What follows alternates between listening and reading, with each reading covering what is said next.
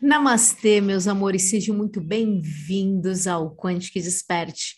O seu despertar começa aqui. Gratidão pela tua presença. E hoje eu venho trazer o áudio do nosso amado, querido Vital Froze deste sábado.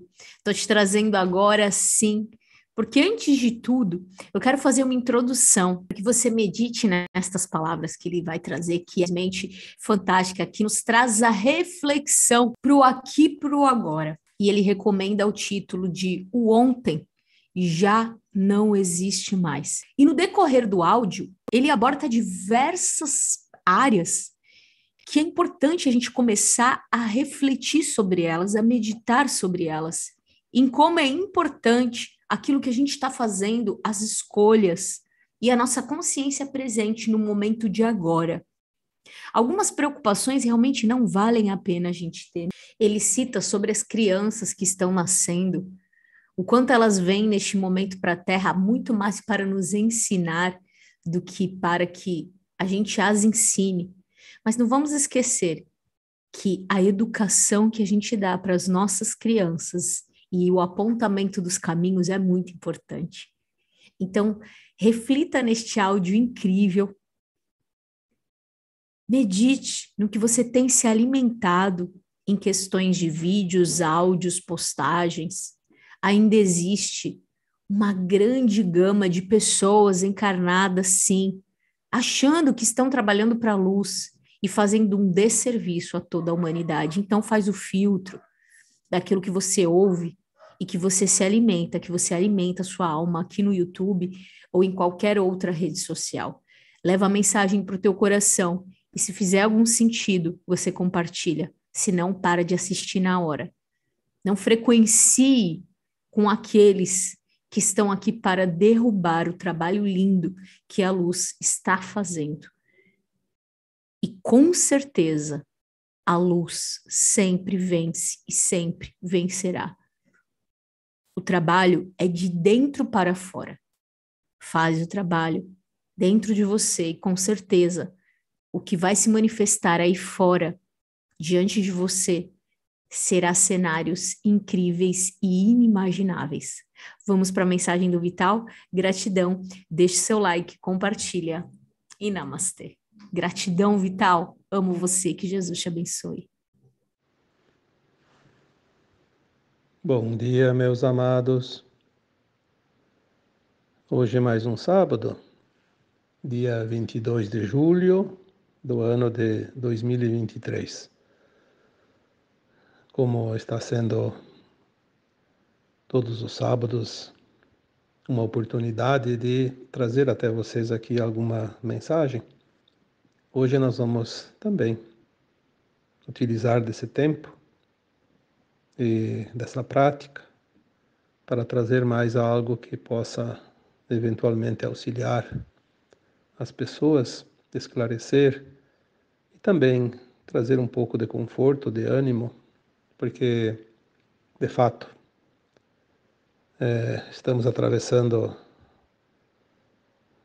os últimos metros, né, da grande caminhada da alma e agora tudo vai se acelerar, como já foi dito tantas vezes.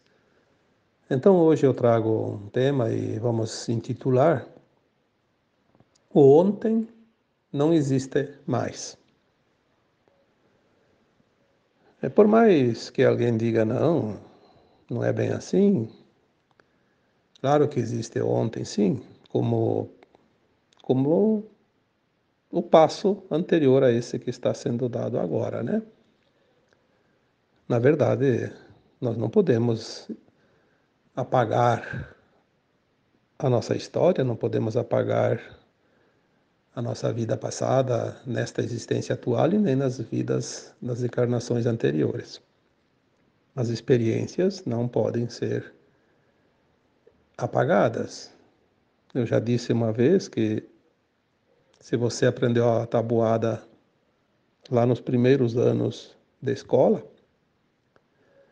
depois você evoluiu, foi subindo de curso, ano após ano, mas a tabuada você lembra até hoje, senão você hoje não saberia fazer contas mais complicadas, né?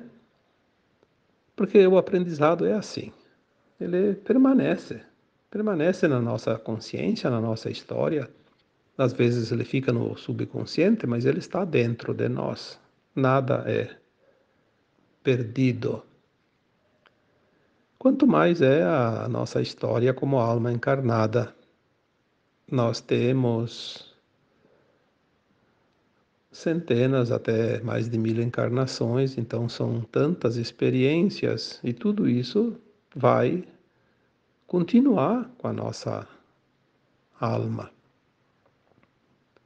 Foi deixado de lado momentaneamente por causa do véu do esquecimento, porque é assim que funciona o aprendizado nessa escola terrana.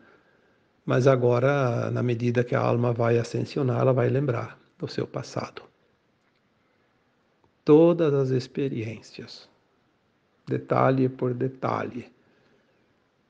Só que antes disto, nós temos que finalizar essa caminhada. Falta muito pouco. Então, o, o tempo se apressou muito nos últimos anos, né? E agora está realmente rápido. Veja bem, nós estamos já indo para os últimos dias de julho de 2023. Parece que o Natal, o Ano Novo foi ontem, né? de, de tão pouco tempo que faz.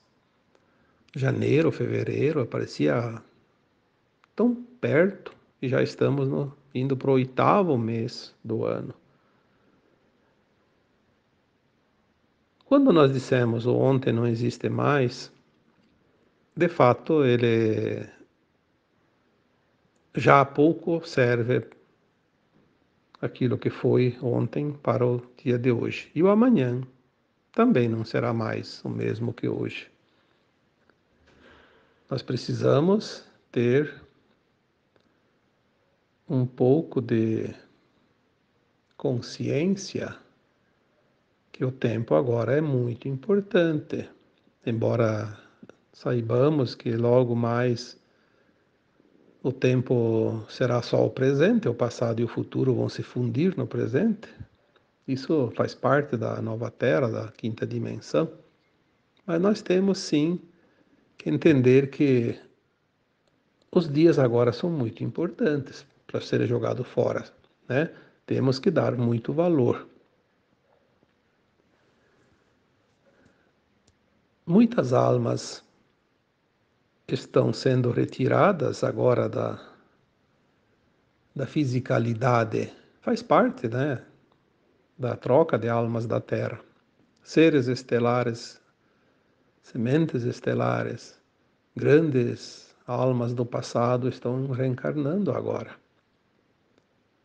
É, há uns dois anos, mais ou menos, foi colocado aqui nas redes, né, que muitos dos grandes personagens da história da Terra, da humanidade, estariam agora voltando para fazer parte da grande festa da transição planetária, do final da transição. Então, ah, foi dito também que, ia, que iria haver mais um aumento maior de desencarnes e um aumento maior de nascimentos de crianças. E é o que a gente tem observado agora, principalmente do ano passado para cá, né? 2022, 2023. Essas almas especiais estão vindo agora. São seres iluminadíssimos nós teremos de volta aqui na Terra os grandes mestres da pintura da Renascença, do Renascimento, né? É, os grandes navegadores, os grandes cientistas, os grandes filósofos, os grandes médicos, né? Do tempo da Grécia Antiga, de todas as civilizações, dos músicos, né? Famosos, os artistas, é, artistas que realmente produzem arte, não é? Não vamos confundir com certas artes de hoje que realmente nada a ver, né? A verdadeira arte. Todos estão voltando, aqueles que contribuíram muito para o avanço da humanidade neste planeta voltam agora. É uma benção, né? Vocês que estão tendo filhos e netos agora, preste atenção nessas crianças que estão chegando. E não se preocupem, como muitos já me pediram, como tratar essas crianças, como saber cuidar delas. Eu sempre digo, preste atenção no que elas podem ensinar. Elas têm muito mais para ensinar do que para ser ensinadas são almas realmente muito elevadas. E também tem muitas pessoas que estão finalizando o seu tempo. É, não é preciso se preocupar se vai aumentar o número de mortes, porque é, cada um veio para esta encarnação com um tempo, uma validade, né? uma data de vencimento, como se diz. Né? E chega a hora, vai, né? Não quer dizer que todos os que morem vão embora da terra, são exilados, e também não quer dizer que todos os que morem vão ali trabalhar no plano astral e depois vão voltar. Morre, desencarna a alma que está no seu tempo de partir. Nem antes, nem depois. Não há nada nesse mundo que faça mudar essa lei natural, porque senão a alma não teria nenhuma autonomia para fazer um plano de alma individual. Né? Ela teria que se sujeitar a uma loteria, sorte ou azar. Não, isso não existe. Então, aconteça o que acontecer, não importa, cada um está dentro do seu tempo, do seu plano. Não há como fugir. Nós já morremos quantas vezes? Né? Eu sempre digo: se você tem mil encarnações com esta, você desencarnou 999 vezes. Falta mais esta para completar as mil, né? Então, aonde que pode estar o medo? E medo do quê? Nós estamos, na verdade, apegados. E nós temos que desapegar, já foi dito isso aqui também. Desapegar porque agora é um tempo de desapego. Nós somos almas imortais. Nós não vamos, caso desencarne ainda, levar nada daqui. Somos almas que não desencarna porque não é matéria. E a matéria, tudo que é matéria, ainda é matéria. Né? Com o tempo, muda também a matéria aqui na Terra. Então agora nós estamos nesse tempo de finalização. É fácil de perceber isso. É, quando se dizia que o Apocalipse viria no final de um tempo, fechar um ciclo, apesar de ser interpretado de uma forma errônea, trazendo como uma tragédia, na verdade é uma maravilha o Apocalipse, porque ele traz a revelação daquilo que estava oculto, da verdade. Então nós vamos ver agora, rapidamente, muito, muito ainda este ano e talvez ano que vem, muitas revelações, verdades que estavam escondidas às sete chaves, que vão trazer a libertação da humanidade. Essas verdades elas estão em todos os sistemas, né? Em todos os lugares, em todos, em tudo aquilo que nós conhecemos. É preciso que essa verdade venha realmente. Para vir a verdade, muita coisa vai ser exposta. E tem algo ainda que pode sim trazer um pouco de choque, mas não tem problema. Não se preocupem tanto com isso, porque nós sabemos que tudo que vai vir é para o melhor. Então vamos comemorar. Vamos comemorar esse tempo. Vamos viver com alegria, com coragem, com fé, com confiança. Existe um plano divino e nós somos esse plano divino. Nós somos parte desse plano divino. Por mais que nós tenhamos o plano individual e coletivo, nós temos este plano divino que abrange tudo e todos, o planeta como um todo, inclusive os reinos, né, deste planeta, a própria consciência desse planeta. Tudo está dentro do plano maior. Nada e ninguém pode mudar o que está por vir. O que se vê ali, o caos, é aquilo que realmente está se manifestando para deixar de existir para sempre neste planeta. Lembre-se disso. Sempre, todos os dias. Aquilo que parece o drama ali fora, o caos, é uma demonstração de resistência exatamente das energias daquilo que vai ser dissolvido neste planeta. E junto disso nós temos então também coisas nossas pessoais como sintomas, né? Preste atenção nos sintomas. Quantas vezes já falamos aqui em sintomas? Sintomas da ascensão, sintomas da atualização do DNA, sintomas das novas energias entrantes, né? da mudança, da frequência do planeta. Tudo isso traz muita, muita instabilidade energética, variações energéticas, porque precisa estabilizar essa frequência.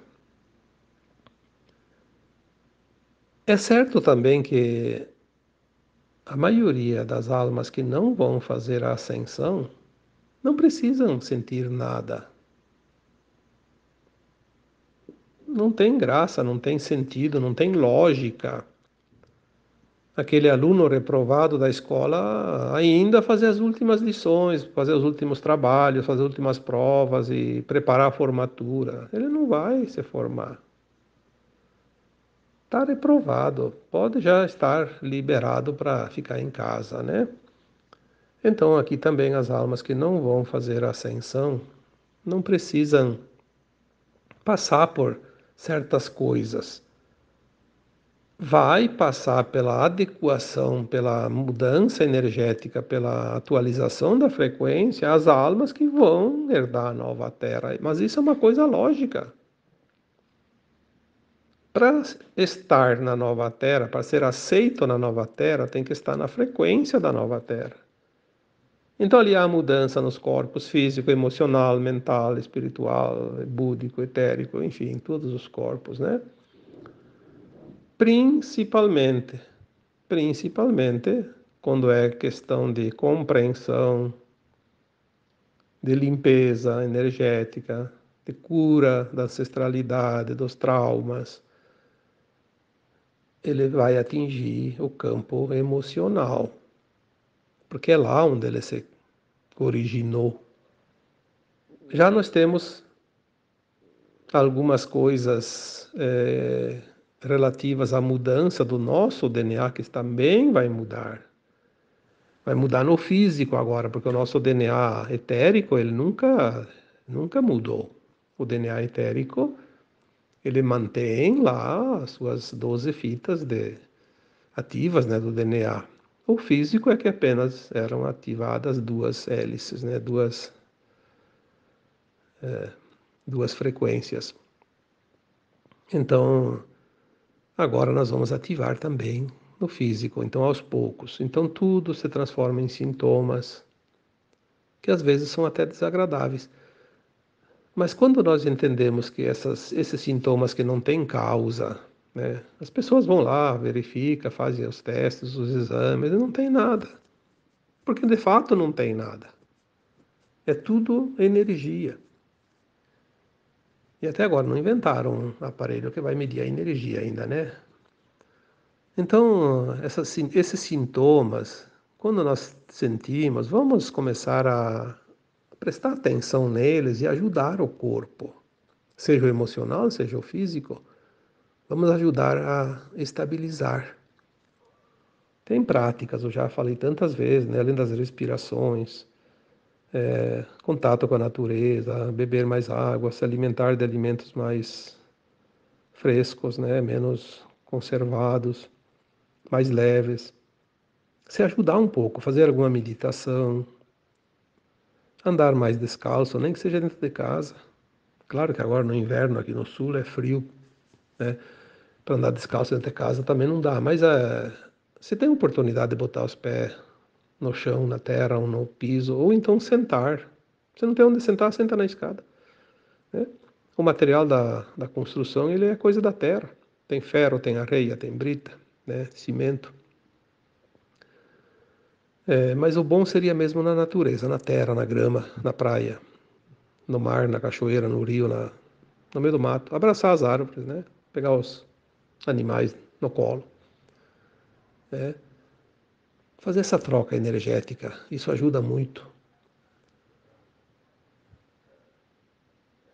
Quando nós começamos a entender isso, nós vamos ver como isso funciona e acima de tudo, ter a consciência é um sintoma de ascensão. Então você respira a luz, ilumine aquela parte do corpo onde tem o sintoma e depois expire, manda para fora aquele, aquela sensação de desconforto. Manda, manda para o universo o universo vai mandar lá para o Sol central né, para dissolver aquela energia, porque nós vamos fazer a troca. Né? Imagina aquela luz, aquele pilar, tantas vezes foi falado nisso. Né?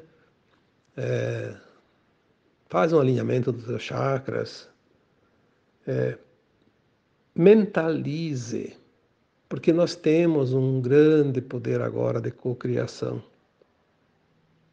Agora você pensou, criou a frequência, você já está criando. É muito rápido. Então você pode mandar energia para cada célula do teu corpo, cada víscera, cada órgão, ajustando, colocando em ordem. Isso ajuda, ajuda muito. Aliviar os sintomas, porque os sintomas eles às vezes eles são sim muito desagradáveis, né? Quando é físico, você sente no físico, então faça os procedimentos. Né? Quando é emocional, lembre-se que não está no físico, embora um problema, um sintoma emocional pode eventualmente ser transferido para o físico e causar um problema ali que pode se transformar até em doenças, obviamente. Quando é emocional, seja lá qualquer coisa, raiva, medo, culpa, vergonha, ressentimento, mágoa, é, uma outra coisa qualquer que seja emocional, né, de tantos sintomas, uma ansiedade, uma depressão, uma angústia. Lembre-se que isso faz parte do processo. Jogue energia positiva ali e transfira de uma preocupação para um alívio. Você consegue fazer isso. Se é uma coisa que você ainda, como já falei, de medo, se você tem medo, você já passou. Se você já passou, não passa mais. Toma consciência disso. Qualquer coisa, tome consciência. Você tem uma história, um histórico. Você tem os registros das tuas vidas passadas. E é preciso limpar limpar essa energia, para que não atinja o corpo físico também. Sem contar que aliviando qualquer sintoma emocional traz também uma qualidade de vida bem melhor. Aqueles sintomas emocionais é, mais curiqueiros agora, além do medo, da culpa, da raiva, da mágoa, do ressentimento, também está vindo muita, muita ansiedade. Ansiedade é uma preocupação com o desconhecido, aquilo que ainda pode vir. Então nós temos aquela emoção desagradável. Mas para que a ansiedade se você sabe que o melhor está por vir? Você fez um plano de alma antes de encarnar e pediu o melhor para você. Não é preciso se preocupar agora. Se você pedir o melhor, o melhor vai vir. Claro, você precisa agir dentro dos preceitos daquilo que é ético, moral, tudo certo, senão, claro, você vai plantar sementes de erva daninha né, na tua horta. Se o melhor está por vir, confia. A ansiedade também pode ser uma preocupação da alma que sabe o que, que o tempo está chegando. Então ela sente aquela expectativa. Então a expectativa da alma vira em ansiedade. Certos casos se transformam em depressão, porque a depressão é uma, uma, uma forma de desistência. A alma se sente pouco capacitada para vencer os últimos obstáculos e aí se entrega ao desânimo. Eu já disse várias vezes que a depressão ela é uma tristeza da alma. A alma se sente triste porque ela acha que não vai conseguir finalizar essa caminhada. E não é assim. Todos os que estão encarnados têm condições. Claro que sabemos que talvez mais de metade não vão conseguir, então um pouco menos de metade vão conseguir. Mas é muita gente que vai conseguir. Um terço, um pouco mais, é, é alma, né? É alma para mais de metro, como se diz por aí. Então, esteja dentro desse grupo. Vamos fazer um pequeno esforço, vamos confiar, vamos trazer para dentro de nós alegria, motivos para ter essa confiança plena. Vamos deixar de lado notícias ruins, medo. Como você vê tanta gente ainda divulgando notícias ruins?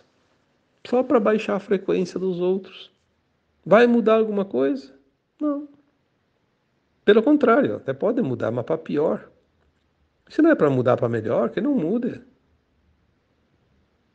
Quando nós vamos divulgar qualquer informação. É bom primeiro se questionar: isso vai ajudar as pessoas? Vai trazer benefício para as pessoas? Vai servir para algo positivo? Senão, não divulga. De notícia ruim, tu não tem que se preocupar, porque tem aqueles que estão sempre prontos para divulgar. Não precisa você engrossar o, o caldo. Tenta passar notícias boas, notícias de confiança. Vamos elevar a frequência do coletivo e assim nós elevamos a frequência da Terra e vamos transformar essa transição final num tempo mais favorável. Nós fizemos esses dias uma energização coletiva para aliviar os efeitos mais devastadores daquele ciclone extraordinário que se formou, uma coisa fora de, do comum, como a própria meteorologia anunciou, né? E de fato foi, foi além da, daquilo que é dito como normal, né? Típico da região, da época, enfim.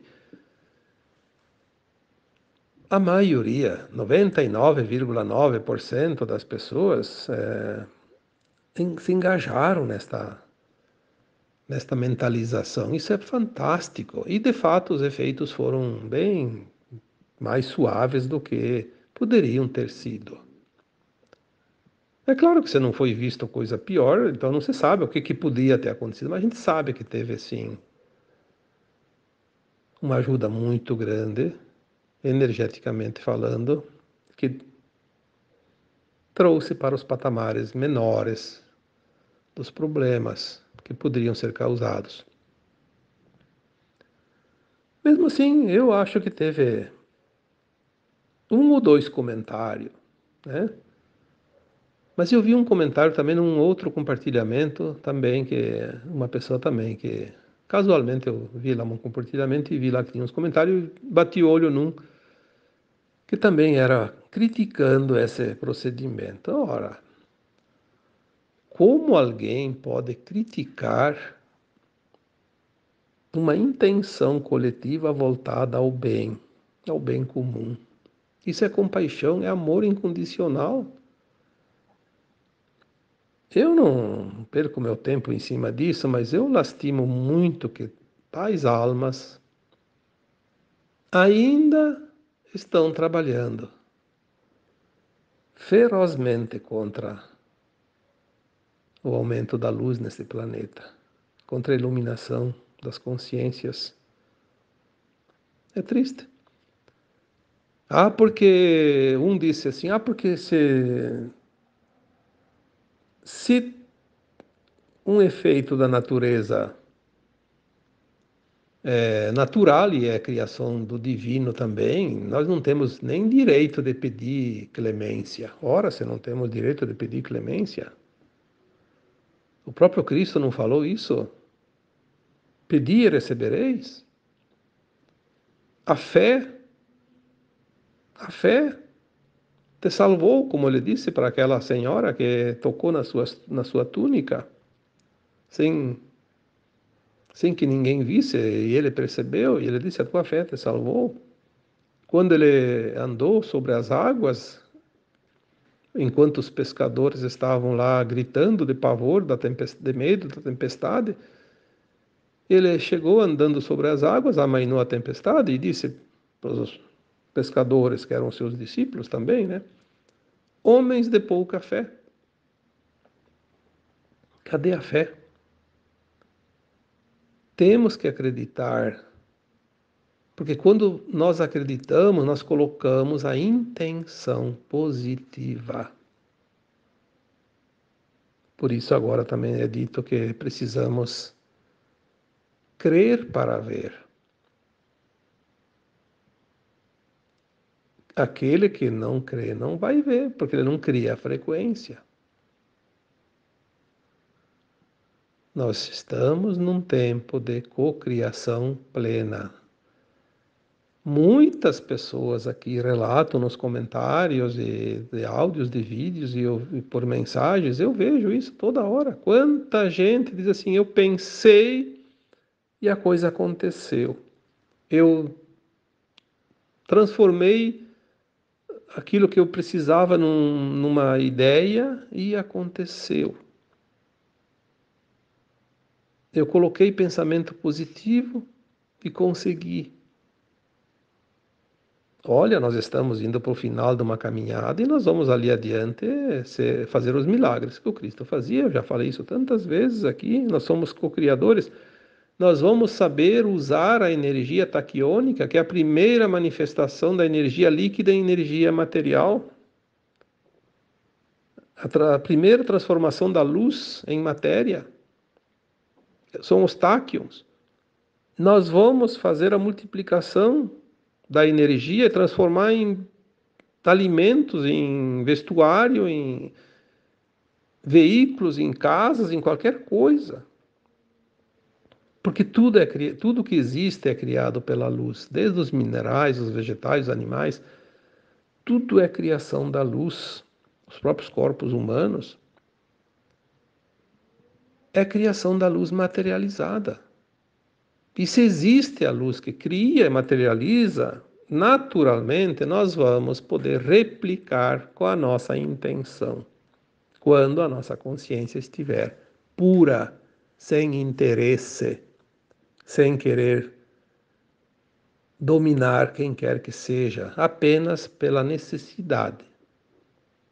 Se eu precisar comer uma fruta, eu vou imaginar a luz que criou aquela fruta, tipo uma laranja.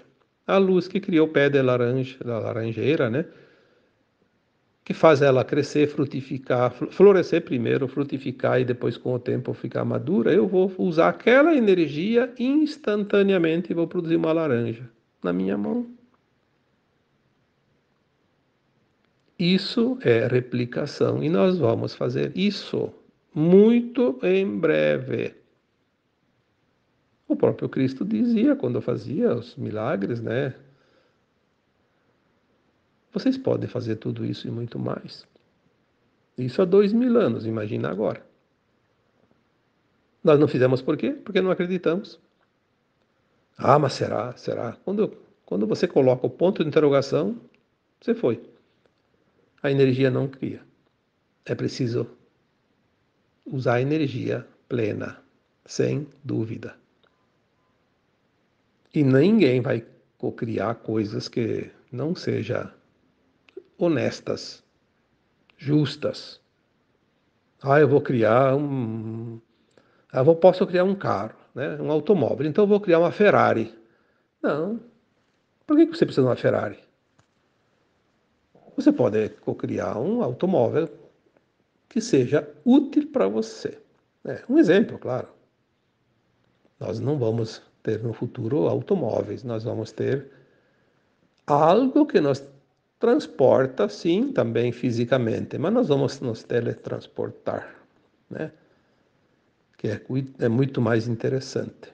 Mas talvez tenha algumas etapas ainda para ser cumpridas e não se sabe exatamente como e quando isso vai acontecer.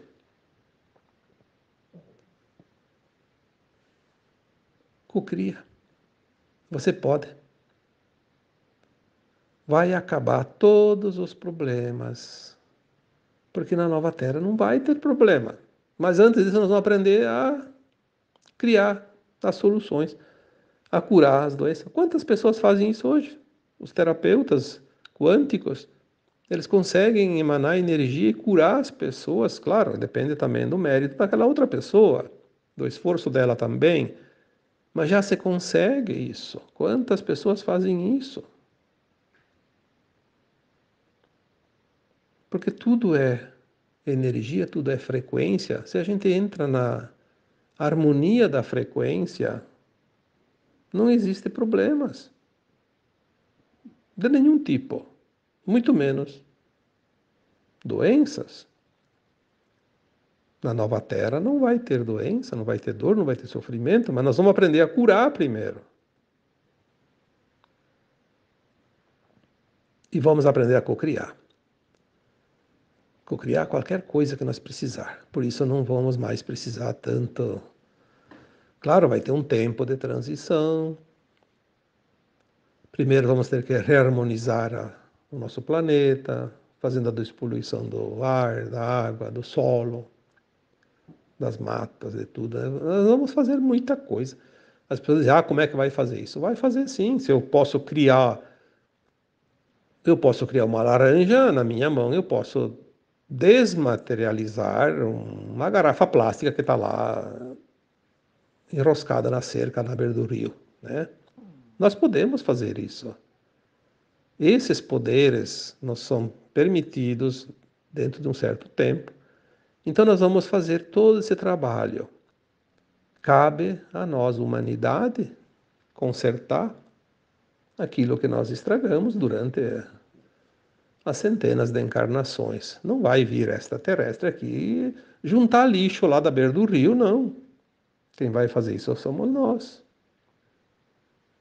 Eles vão nos trazer tecnologia sim, não vão dar apoio, mas é como agora a remoção daquelas pessoas, os, os encarnados que são agentes das trevas. Eles, os extraterrestres não vão vir aqui buscar eles com uma, um par de algemas. Os próprios encarnados vão se encarregar de fazer isso vai aparecer situações, vai vir as verdades e não vai haver mais dúvidas quem é quem e tudo vai se normalizar porque vai haver a justiça final nesse planeta, mas vai ser feita pelos próprios humanos. Porque o mundo está cheio de gente boa. A questão é que os malignos eles assumiram os os comandos e eles estão achando que estão com o planeta na mão. Não estão. Não estão. Negativo. Nem acreditem numa situação dessa, porque isso não vai existir. O que vai existir é mais um tempinho de resistência e depois tudo vai ser mostrado e não há para onde fugir, nem para onde correr e nem para onde se esconder. E nós precisamos trabalhar a compaixão. o não julgamento. Não cabe a nós julgar. Se eu não tenho essa tarefa, eu não vou julgar ninguém. Se você não tem essa tarefa, não vai julgar ninguém. Vai ter aqueles responsáveis para fazer o serviço e quem é responsável vai assumir e pronto, né? Vamos fazer o nosso melhor, vamos pensar no melhor, vamos acreditar no melhor, porque nós agora vamos construir o nosso futuro. Se você se construiu até aqui o que você é hoje, você vai se construir agora rapidamente um novo ser. Lembre-se que esses dias foi falado uma canalização que veio, que a nossa consciência ela vai agora avançar. Um tempo, como nós conhecemos, um tempo linear de 3 mil anos, num ano.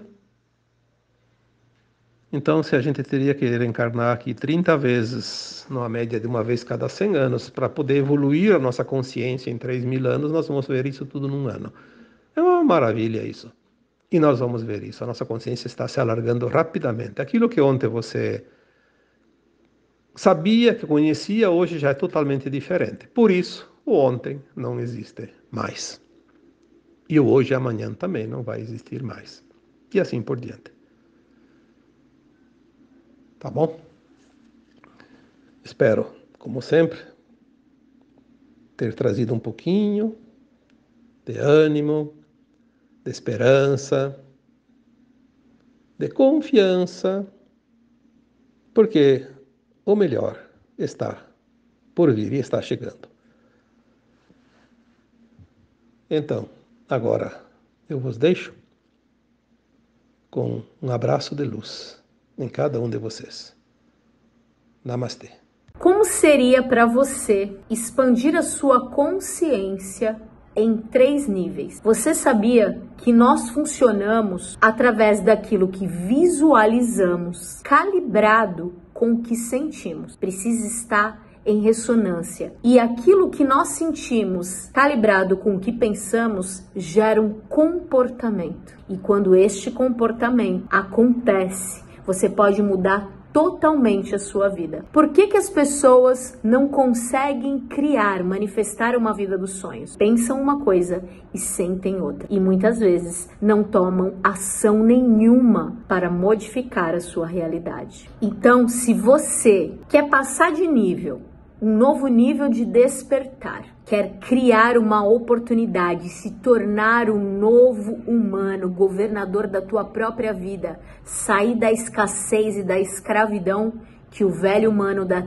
3D vivia, vem para Cápsulas do Despertar. Serão encontros semanais comigo durante um ano, onde eu vou te ensinar tudo o que eu aprendi até hoje, durante 20 anos eu vou resumir para ti aquilo que funciona em apenas um ano, uma vez por semana. Clica aqui aonde tiver um linkzinho e saiba mais como funciona o Cápsula do Despertar.